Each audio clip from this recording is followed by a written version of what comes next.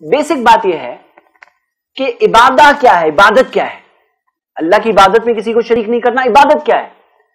عبادت کے بارے میں ایک بہت پیارا ڈیفینیشن ابن تیمیہ رحمہ اللہ نے دیا۔ انہوں نے بتایا، العبادہ اسم الجامع۔ عبادت ایک جامع لفظ ہے۔ جامع یعنی ایک لفظ میں بہت ساری معنی ہیں۔ لکل لما یحبہ اللہ و اس میں وہ ساری چیزیں آ جاتی ہے جو اللہ جس سے خوش ہوتا ہے، اللہ جس سے راضی ہوتا ہے۔ اللہ کو خاص خوش کرنے کے لیے عبادت وہ سارے کام ہیں۔ من الاقوال، چاہے قول ہو، چاہے زبان سے ہو، جیسے؟ من الاقوال، چاہے قول زبان سے ہو، جیسے؟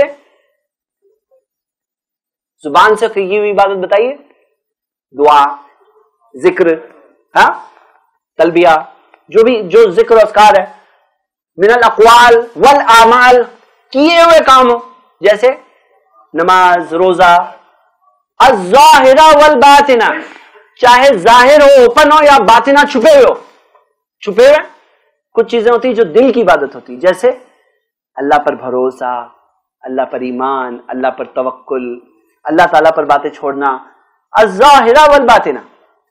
تو میرے بھائیوں، یہاں بات یہ ہو رہی ہے کہ ساری کی ساری عبادت کس کے لیے؟